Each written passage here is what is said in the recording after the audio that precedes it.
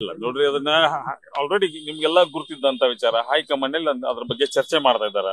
ಯಾಕಂದ್ರೆ ಈ ನಾ ಇವಾಗಲೇ ಇಬ್ರು ನಾಯಕರು ಕೂಡ ನಮ್ಮ ಪ್ರಮುಖ ನಾಯಕರು. ಯಾಕಂದ್ರೆ ಇವತ್ತು ಪಕ್ಷ ಇವತ್ತು ಇಷ್ಟೊಂದು ಬಲಿಷ್ಠವಾಗಿ ಬರ್ಬೇಕಂತಂದ್ರೆ ಇಬ್ರು ಶ್ರಮ ಇದೆ.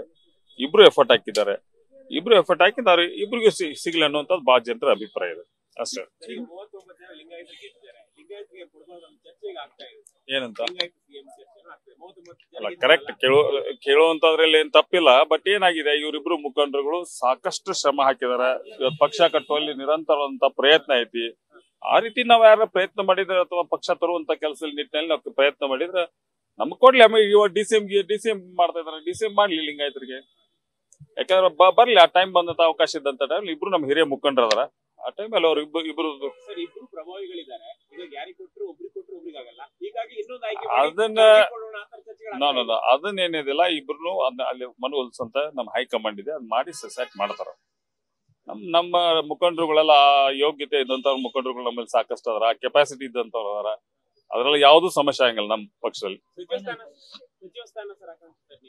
ಹೌದು. ನಾನು ಪಕ್ಷ ಇವತ್ತಲ್ಲ ಇವತ್ತು ಸಚಿವ ಸ್ಥಾನ ಹಾಕಿಲ್ಲ ಬಟ್ ಏನಿದೆ, ಇವತ್ತು ಮುಖ್ಯಮಂತ್ರಿಗಳು ಇವತ್ತಿಲ್ಲ, ನಾಳೆ ಬೆಳಗ್ಗೆ ಫೈನಲ್ ಮಾಡ್ತಾರೆ.